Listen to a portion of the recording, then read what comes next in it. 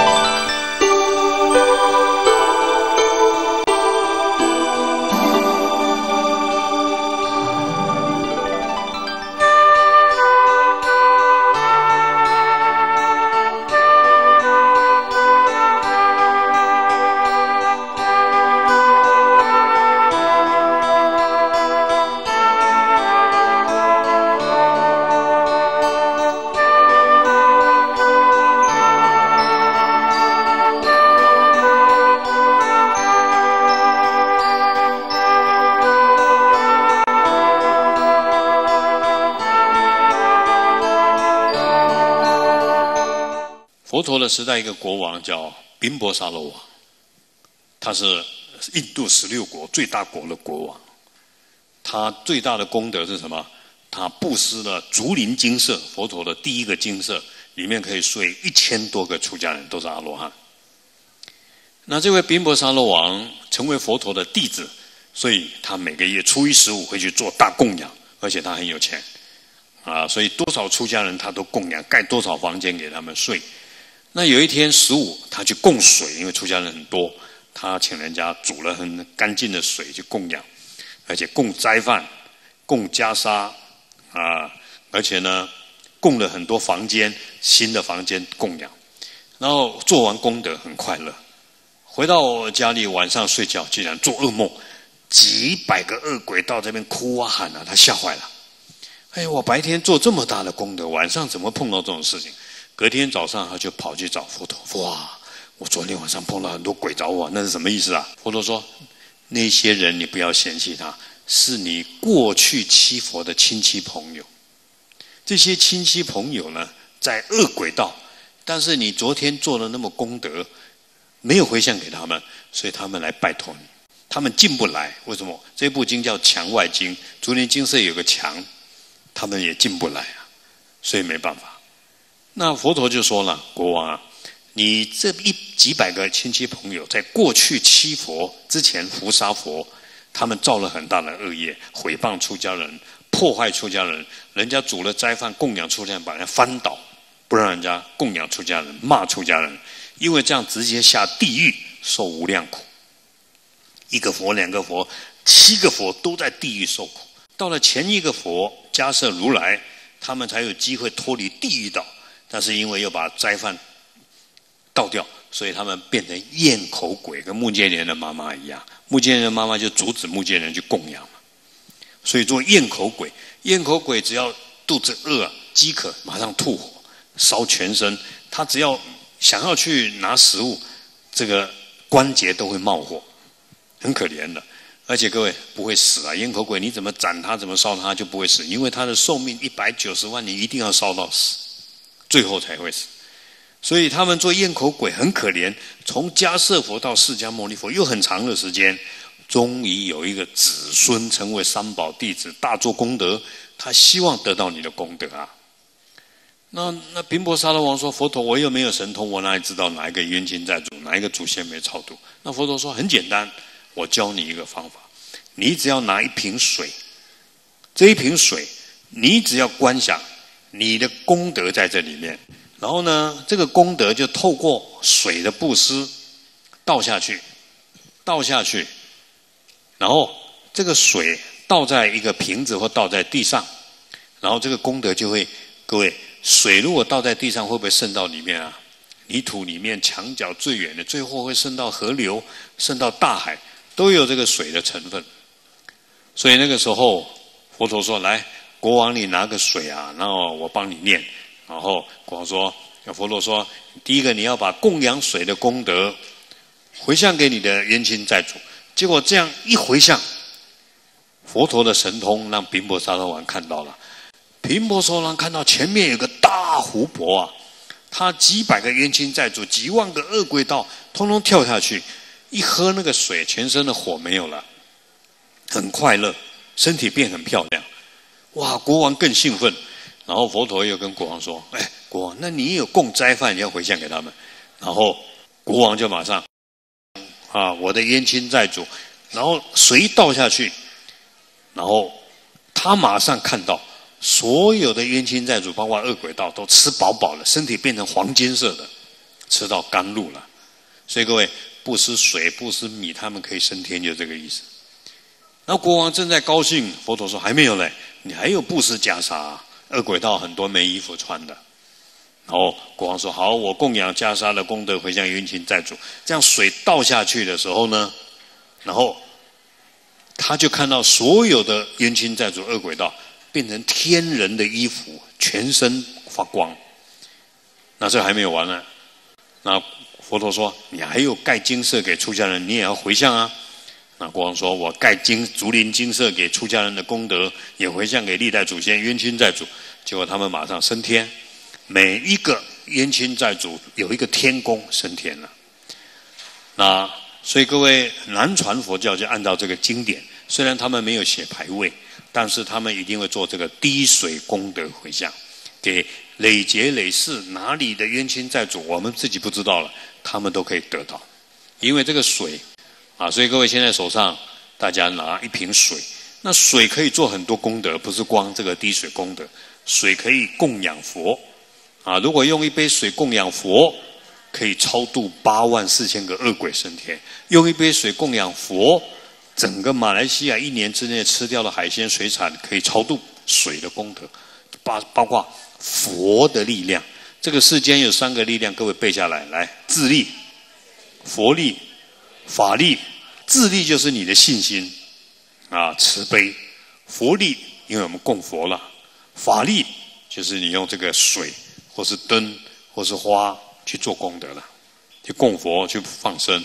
所以这三个力量背着自我功德力、诸佛加持力、法界缘起力。法界就是十法界，你对佛菩萨或对六道众生所做的功德叫法力，也叫因果力。那所以我们在供水的时候就符合这三个力：自力，因为你相信，你也愿意帮他；佛力，供佛；法力，真的有水，所以一杯水可以超度八万四千恶鬼。今天我们现场假设五百个，五百瓶水乘以八万四千，那你可以超度很多啊！但是我希望各位每天都要做一次。你既然知道了，那不做太可惜了。各位要成为一个功德企业家，最聪明的。啊，世间的钱拿来转为功德嘛，啊，而且不是很多钱，而且你不要光自私，每个人都做，啊，你公司有十个人，一人给十瓶水，来，我教你们倒，这样就好了。那你公司的员工都发了，你不可能不发，就这个意思了。好，所以各位呢，各位手上有没有拿到水啊？来，那这张纸拿出来，我们先念倒数第二行供水记。各位多用水，不能用自来水啊！可以喝的水、开水、矿泉水都可以了。啊，这个水代表空性、透明的。这个世间一切都是透明的，不是真实存在的。啊，这个水的光乃至给人喝是一种慈悲啊，所以水就符合了佛佛性、慈悲与智慧。那各位多多的用水做功德。而且各位，你知道那些孤魂野鬼这么可怜，你每天就滴一些水给他们。再一个很重要，你要卖房子卖不出去，你只要拿这个时候用自来水可以，把你这一间房子前面那个土地给它洗干净，土地公就很高兴，房子就很容易卖。啊，如果你这个你这个房子要顶给人家，顶给人家或卖或租租不出去，那你在房子的二楼放一杯水。供养地基主，供养他，啊，再加上你会用水果用花，啊，地基主就帮你找客户。各位你要懂得用这个道理啊，因为我们出家人都懂，因为我们出家人，因为你要利益众生，不能光对人、对土地公、对山神、树神、对天神，我们都要怎么样的尊敬他，一起来修功德。就像释迦牟尼佛成佛了，上帝、玉皇大帝、四大天王、监牢地神都要来护持佛陀，啊，那各位也千万不要因为拜佛而而欺负神，啊，看不起神明，啊，很多人是这样，拜佛了不用拜土地公，土地公跟你是密切的关系啊，佛只是佛是圆满的慈悲啊，那土地公跟你的金钱有关系啊，啊。所以你只能说感恩土地公，而且各位下回皈依三宝，你也要观观想土地公也来皈依三宝，那他就变成三宝弟子，然后他的格就提升了，啊，本来是一位少尉，再派一个上校来了，啊，因为你的格也提升了。同样，你修行也一样，皈依的人有皈依的护法神，受五戒的护法神又不一样，受菩萨戒的护法神那又不一样。那你没有护法神在这个世间，你没办法做事的，魔会很多。你越想做事做好事，他越障碍你。这个世间是佛魔同存，甚至魔的力量比佛还强。各位相信这句话？魔的力量比佛还强啊！这个魔就会破坏你的幸福。你越想要努力，它会破坏你。所以我们出家人叫不魔。如果我们持戒，魔就会怕；不然魔就会伤害我们。所以佛陀叫什么？来降魔成道啊！佛陀要成佛，除了自己精进，还要降魔。没降魔，没办法成佛的啊！只是佛陀降魔，他是用悲心，去圆满的慈悲就可以降魔啊！所以好，那这个水供养一杯水，回向给别人，可以消他的业障。水可以把脏的洗干净嘛？宵夜上要多供养水，要发财要多供养水，水代表财。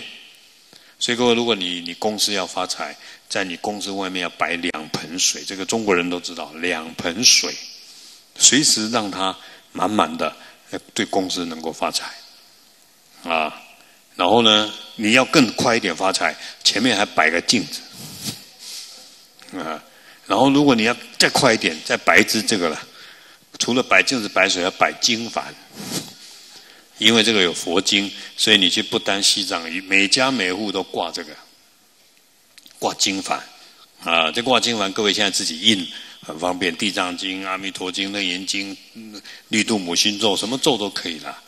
你只要把佛经咒语、佛像印在上面，挂着随风飘，随风飘，飘一次做一次国王，飘两次做两次国王。为什么这个一飘，所有的底下的三恶道都超度了？所以你不会念经没关系。下回请占日法师今天要发给各位会飘的、会吹的，你就你电扇打开，你就让他这个吹吹吹，你去睡觉吧。因为他在念经，这个代表佛陀的观音菩萨的舌头，只要吹一下就念十亿遍的经典，吹两次两亿遍的经典。二十亿的经典，所以药师经叫我们挂四十九面在上面，长寿无病，一切满愿。如果家里有人往生，你能够挂一百零八面，他保证升天。一百零八面啊，一百零八面就是所以你们看藏人挂的很长啊，挂经幡挂的很长，挂越高越好。那你家至少二楼也好。下回应该这次会会发给各位，发给各位。这个如果你开车这样开，那不是很嚣张吗？